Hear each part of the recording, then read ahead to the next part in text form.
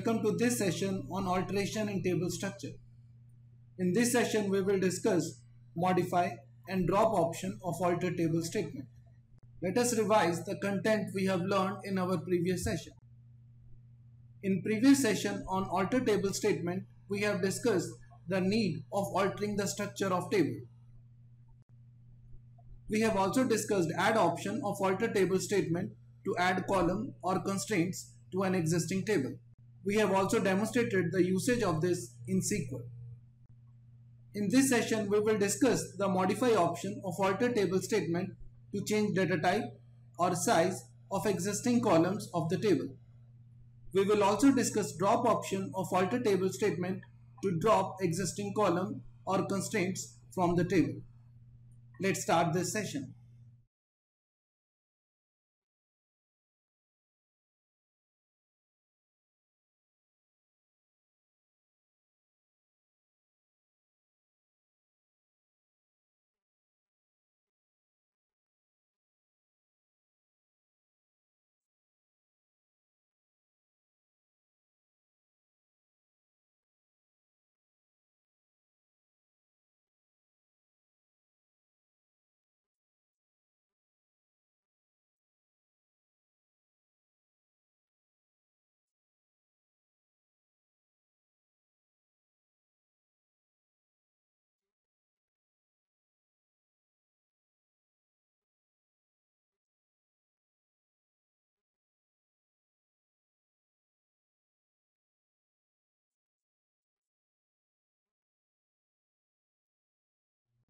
Let us demonstrate these statements. Here we have a student table with six columns and these are their data types. These are the contents of student table. It has only one row. Now if we have to change the size of name field from character 15 to character 20 the statement will be alter table student modify name character 20 if I execute this statement, it shows table has been altered and describe student indicate that it has been changed. Now let us change the data type of existing name column. Here it is character and I can change it to another compatible data type that is variable character. In order to change the data type of name column from character to variable character, I can use this statement. Table has been altered. Describe table statement shows that name has been changed from character to variable character. Here the data type of address is variable character and its size is 50. Let us reduce its size from 50 to 20. This alter statement is used to reduce the size of address from character 50 to character 20. If I execute this statement, table has been altered. But if I try to reduce it to 10, then it is not allowed. It means it means I can only reduce the size of variable character column up to a point to which it satisfies the values of existing columns. Otherwise, we have to first delete existing record, then only I can reduce its size. If I try to reduce the size of mobile number column from 10 to 2, it will again not allowed because there is one record which has a mobile number of 10 digits. So in order to facilitate this, I have to delete existing records. Then only I can reduce its size. There are some important points which we should kept in mind while using modify option. To reduce the size of number column, it is mandatory to empty the column for all rows.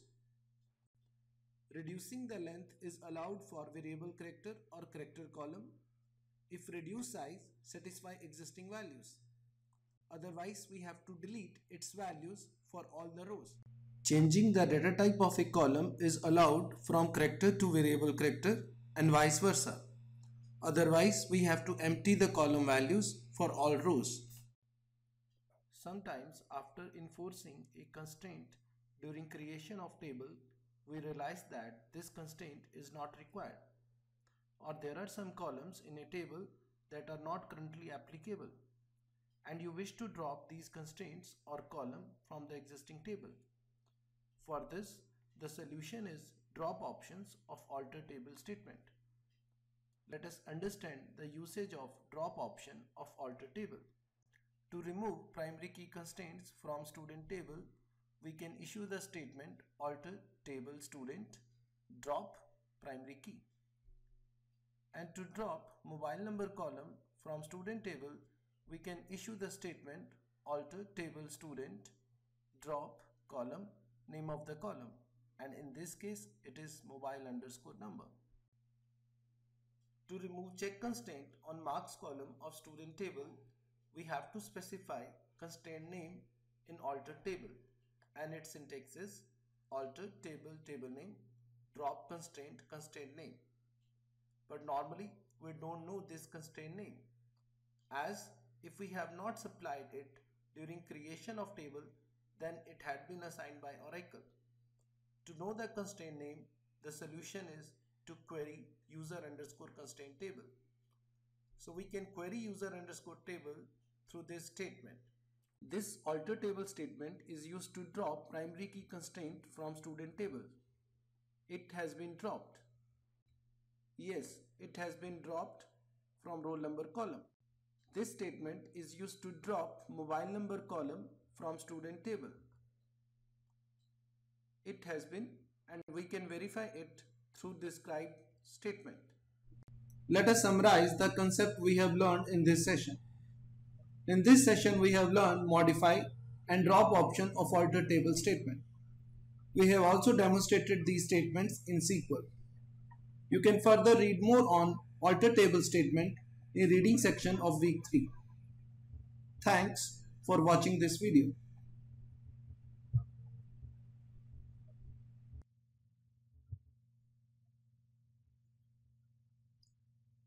Now let us revise the concept we have learned in this session.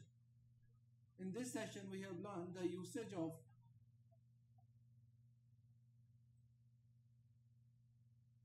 Now let us revise the concept we have learned in this session. In this session we have learned the usage of in this session. Now let us revise the concept we have learned in this session. In this session we have learned the usage of drop and modify of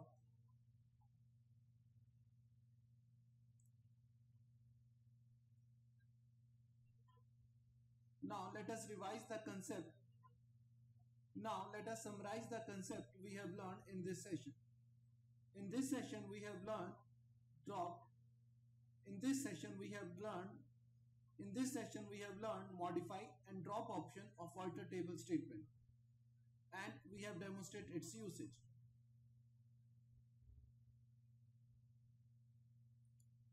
Let us summarize the concept we have learned in this session. In this session, let us summarize the concept we have learned in this session. In this session, we have learned the concept of modify and drop option of alter table statement. We have also demonstrated we have also demonstrated the usage of these statements.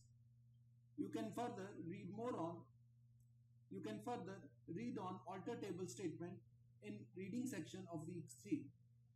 You can further read on alter table statement in reading section of week 3. You can further read on alter table statement in reading section of week 3. Thanks for watching this video.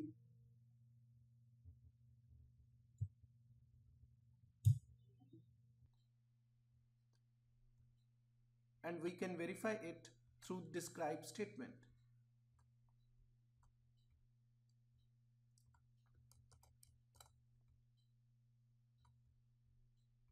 To drop check constraint on class column, we have to supply constraint name and we don't know its constraint name. To drop to drop check constraint on class column, we have to supply its constraint name and normally we don't know it. To retrieve the information to retrieve the information about constraints we can issue this statement. This query